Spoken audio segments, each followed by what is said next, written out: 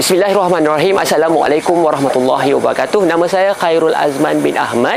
Saya telah diamanahkan untuk uh, bertanding di uh, Alur Pongsu N10 di negeri Perak.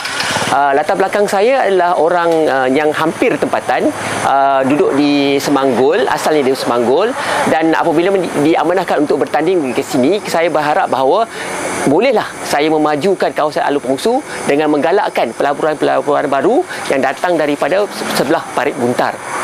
Pakatan Harapan boleh. Malaysia, Malaysia semula harapan baru